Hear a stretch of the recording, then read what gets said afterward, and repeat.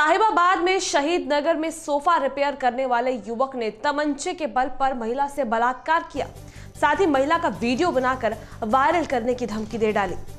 साथ ही ये भी बताया जा रहा है कि आरोपी वीडियो वायरल की बात कहकर महिला से काफ़ी समय तक बलात्कार करता रहता था। वहीं इस मामले में महिला की शिकायत के बाद पुलिस ने दो लोगों को गिरफ़्तार कर लिया है। साहेबाद आई है क्या है मामला पूरा? जी सर बकरीद का टाइम था। मैं अपने सोफ़े बदलवाने के लिए मुझसे बुलाया था कारपेंटर को। वो घर आया मेरे, मैं पानी लेने गई तो वो उसने वो निकाली बंदूक। अब बंदूक निकाल के बोला, मेरी नेत तेरे पे बहुत दिनों से है। मैं तुझे बहुत दिनों से देख रहा हूँ। और मैं यानी तेरी लड़की को मार दूँगा, यानी मेरे साथ कर मैं डर गई बहुत ज़्यादा तो इसलिए मुझे मजबूर हो गई। उसने मेरी वीडियो बना ली गंदे गंदे फ़ोटो खींच लिए।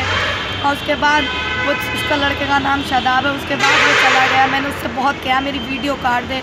मेरे सारे जेवर ले लिए झुमकी उमकी सब चीज़ उसने बेच दी धीरे धीरे लेता रहा। आठ नौ महीने से मेरे साथ ये करा उसी वीडियो के ऊपर। ये मामला आठ नौ महीने से चल रहा है तो बीच में आपने कभी इस चीज़ का ज़िक्र अपने पति से नहीं किया? जी मैंने डर के मारे नहीं किया। मेरे मेरे पति को पता लगे कहीं वो छोड़ ना दे मेरे भैया की इज़्ज़त खराब ना हो जाए। इसी वजह से डरती रही इसी वजह से मैंने नहीं बोला।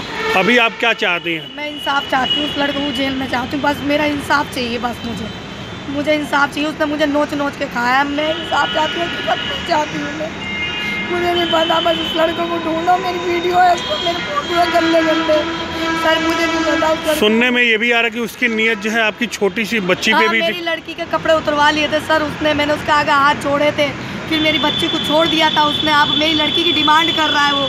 कि अब तू नहीं अब तेरी लड़की भेज कितने साल की बेटी है आपकी? दस साल की बेटी है मेरी सर। दस साल की है बचा लो मैं कैसे भी करके ले लो उससे मेरा इंसाफ दिला दो सर। बस कैसे भी करके दिला दो। नाम है आपका? कित, कितने क्लास में पढ़ती हो? फोर्थ क्लास में पढ़ती हो?